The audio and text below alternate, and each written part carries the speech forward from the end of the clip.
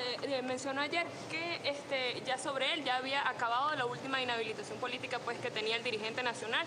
Si pudiera, por favor, precisarnos eh, la algún tipo de información al respecto.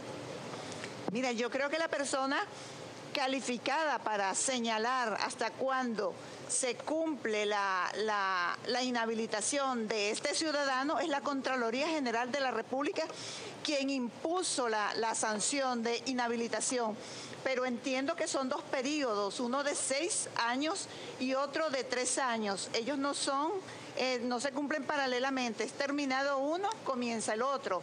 En consecuencia, yo creo que ese periodo no ha culminado todavía de la inhabilitación.